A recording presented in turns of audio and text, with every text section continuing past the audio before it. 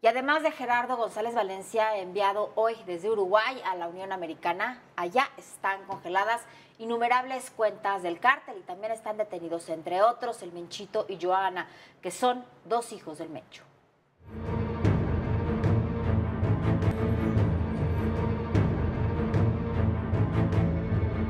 En solo seis días, el líder del cártel Jalisco Nueva Generación vio cómo sus dos hijos terminaron bajo custodia del gobierno estadounidense.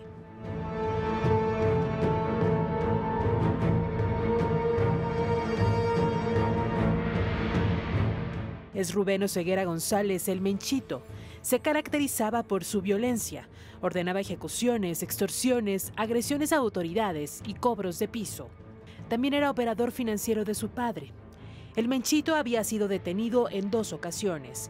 La primera detención en 2014 por personal de la Sedena fue en Zapopan, Jalisco. Pero unos meses más tarde el juez quinto de distrito lo liberó por faltas al debido proceso. El 23 de junio del 2015, personal militar lo detuvo nuevamente en Zapopan. El 6 de septiembre del 2019 fue reubicado al Ceferezo 11 de Hermosillo, Sonora. Ahí intentó fugarse sobornando a las autoridades. Finalmente, el 20 de febrero fue extraditado a los Estados Unidos. El 26 de febrero, el Menchito, de 30 años, compareció ante la Corte Federal de Estados Unidos en el Distrito de Columbia. Se declaró inocente de los cargos de asociación delictuosa para distribuir grandes cantidades de cocaína y metanfetaminas y de uso de armas de fuego durante un crimen de narcotráfico.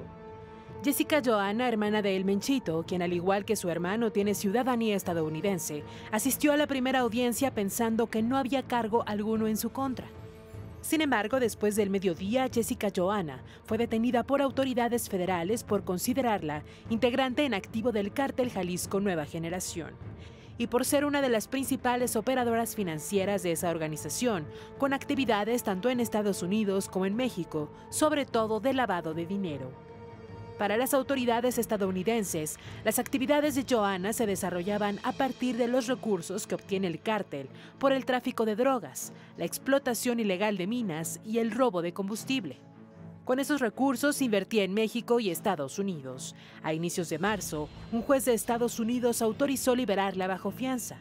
Sin embargo, la Fiscalía alegó riesgo de fuga, por lo que permanecerá detenida hasta que se resuelva la apelación presentada por el gobierno. El otro hijo del Mencho, de quien se dice sería el sucesor natural, es Juan Carlos González, un joven apodado El Pelón o El 03. Es medio hermano de Joana y Rubén. El Pelón disputa el liderazgo a Gonzalo Mendoza Gaitán el Sapo o el Rey Sapo.